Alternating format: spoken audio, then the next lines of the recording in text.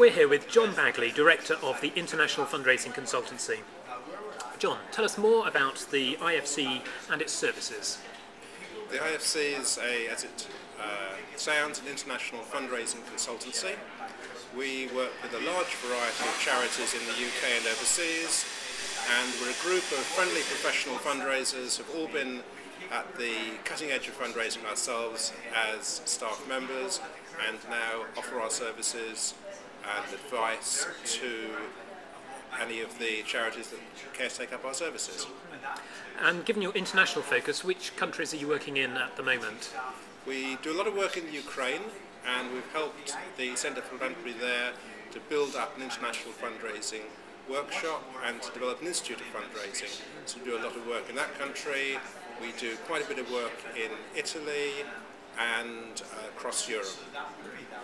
And given the looming recession here in the UK, are there any non-profit sectors doing well internationally?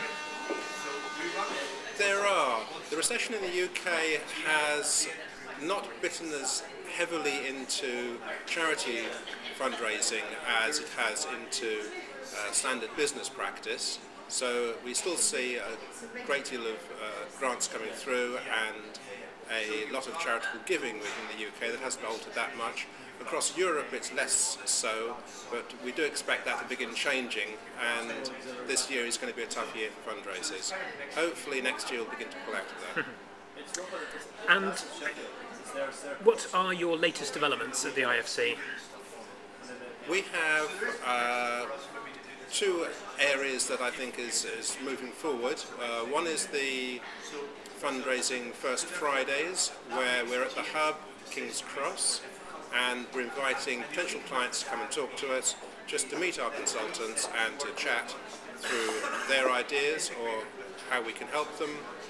And that's free. It's the first Friday of each month, and it's from 2 o'clock to 5 o'clock.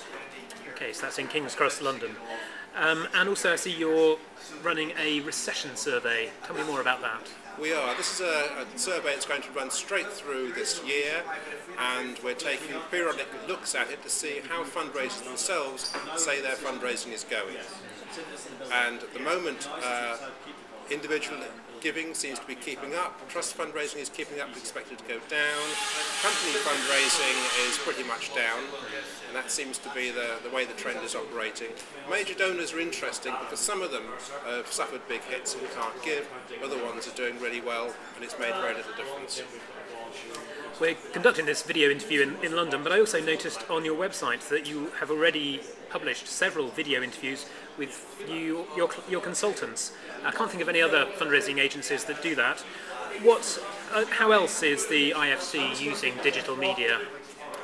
I run a regular blog on the UK fundraising site and we hope to reach out to a number of fundraisers in that way. We're also thinking about investing in a wiki for fundraisers that would have uh, continuously updated information about fundraising techniques. So that's something to watch for that may happen over the next uh, 12 months perhaps. And I see your book, Successful Fundraising, is still one of the best sellers at the Directory of Social Change. Any chance of a new edition of that book? We've been thinking about this. It still is selling well.